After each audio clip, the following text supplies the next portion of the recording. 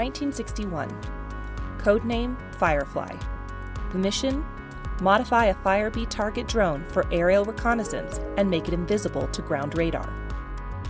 The success of this endeavor would lead to more than 34,000 operational surveillance missions over Southeast Asia, proving the value of this new technology. Over the next 50 years, advancements in stealth technology led to aircraft such as the F 117 Nighthawk, the B 2 Spirit, and today's fifth generation aircraft, the F 22 Raptor and the F 35 Lightning II. Stealth aircraft evaded detection in combat operations from Panama to the First Gulf War, the Kosovo conflict, the wars in Afghanistan and Iraq, as well as operations in Libya. Today's stealth aircraft are nearly unperceivable to radar. They are designed to be invisible, inaudible, while increasing lethality on the enemy. Using stealth, airmen can penetrate the enemy's strongest defenses, threaten their most valued highly guarded targets, and return home unscathed to plan the next mission. Concealing aircraft from radar was once a barrier, but now a barrier broken and stealth technology will continue to provide a powerful deterrence well into the 21st century.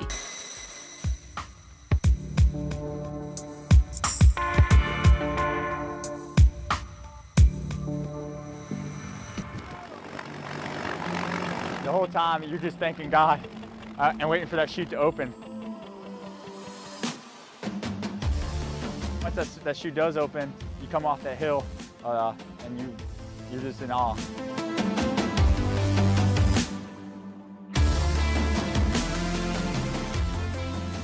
High altitude, high opening HAHO jumps are one of our special purpose insertion capabilities.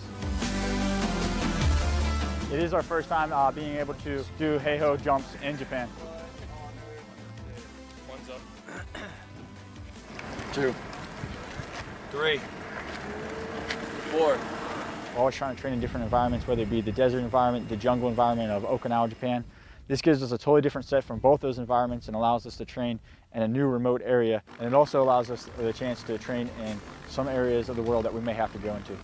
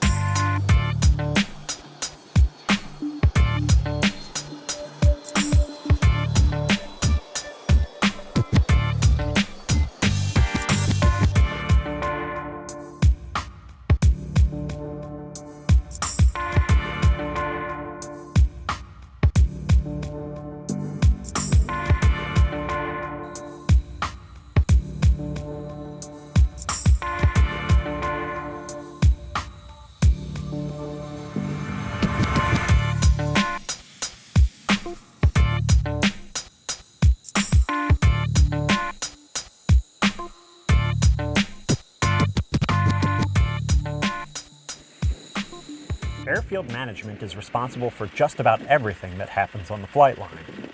And in this unique deployed location, they've had to step outside their comfort zone to address issues like flight line repairs and installing airfield lighting. As airfield management, this is not usually our job. However, because we are deployed and we want to get our mission done, we have become very fond of these lovely solar lights.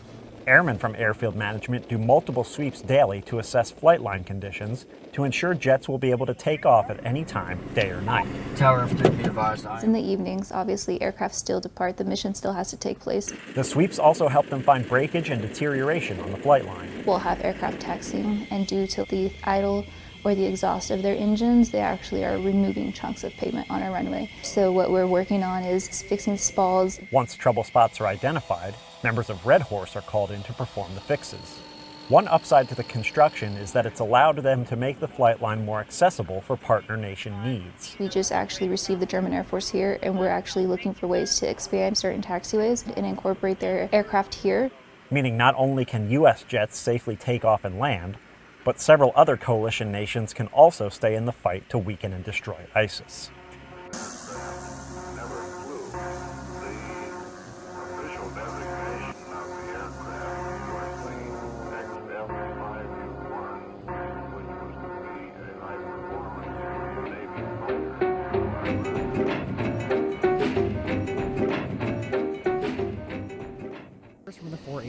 Squadron out of Spangdahlem Air Base, Germany, are participating in a flying training deployment to RAF Lakenheath in the United Kingdom.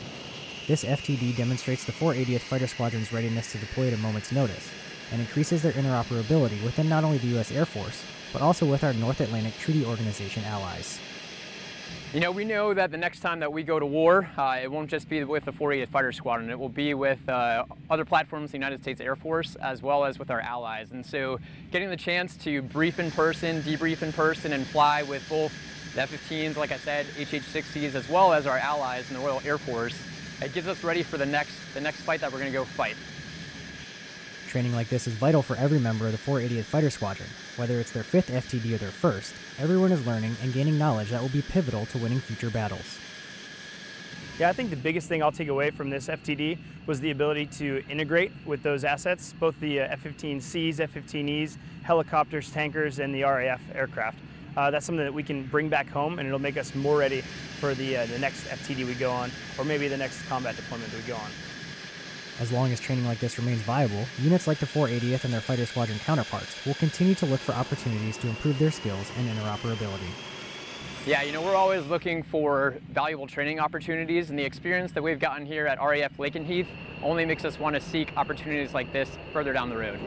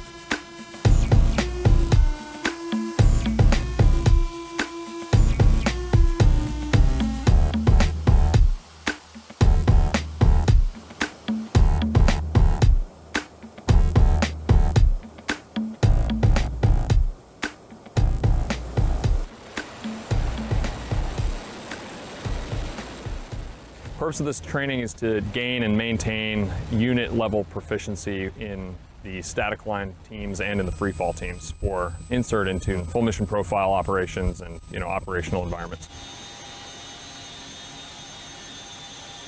It's an exciting uh, method of insertion, yes, but really it's, it's an extremely effective one, uh, and we feel a lot of sort of exhilaration and encouragement when we get to that level of proficiency with a team.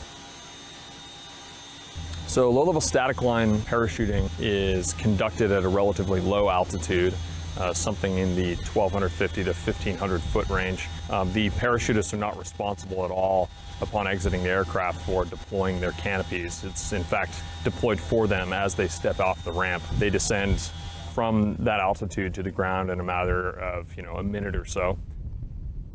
Free fall, on the other hand, the typical exit altitudes from anywhere between 6,000 feet to 25 or 30,000 feet above ground level and can be accomplished with a mix of oxygen and a number of different configurations on the parachute system. It's an incredible capability that we maintain in the reconnaissance and special operations communities in the Marine Corps, and we're proud to represent our company doing it today.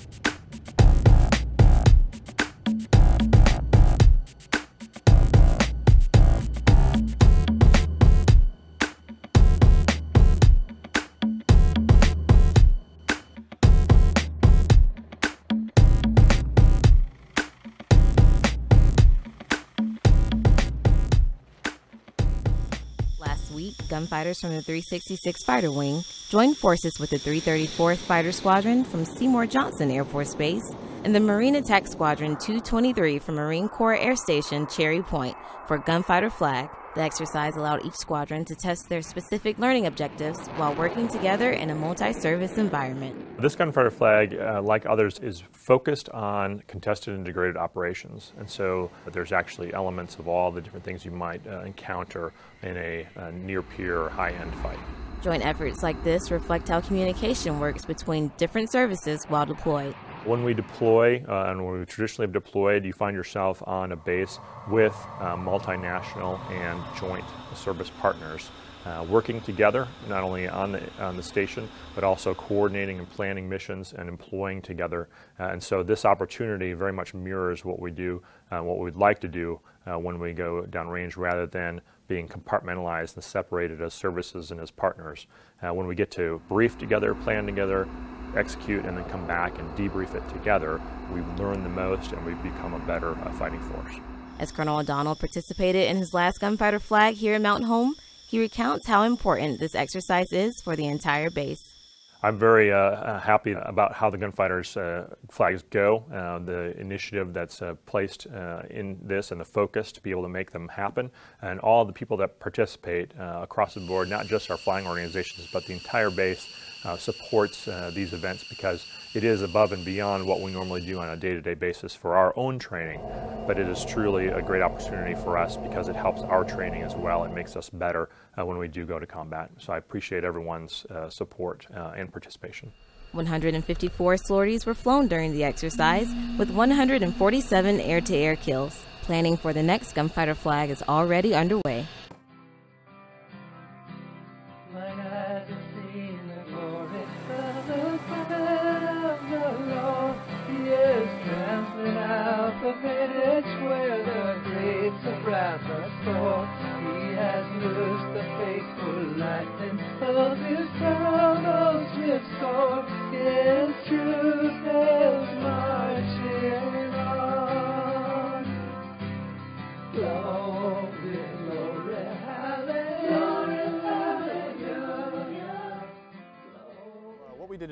Was we conducted a low-cost, low-altitude, uh, LCLA for short, airdrop, uh, resupply airdrop with a CH-47 helicopter from 325 Aviation Regiment.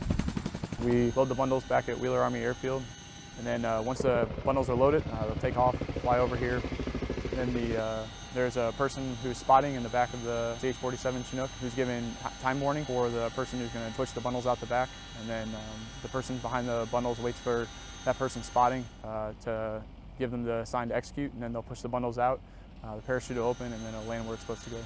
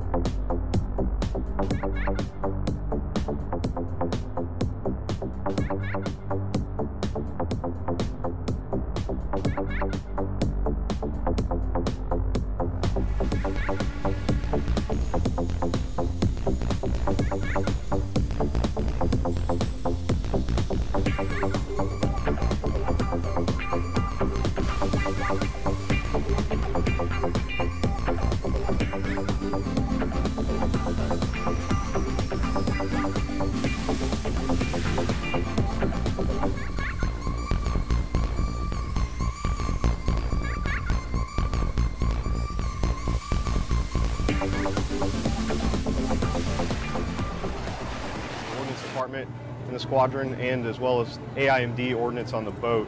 From the time we say go, they'll build up those weapons, uh, test them, and then uh, hang them on the aircraft depending on what we ask for for the mission.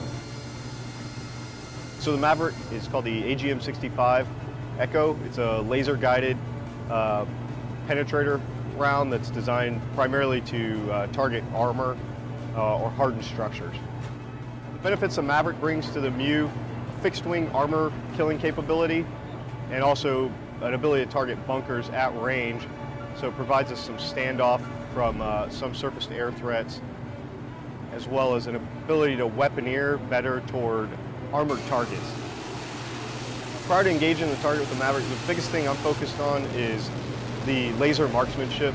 Whoever's lasing that target, be it the, the aircraft that's shooting or his wingman, that weapon's going to go where that laser is pointed. So it's, it's absolutely critical that crosshairs of that targeting pod are kept on the target throughout the entire weapon time of flight, and it's a nice stable platform for that missile to seek in on, uh, kill that target.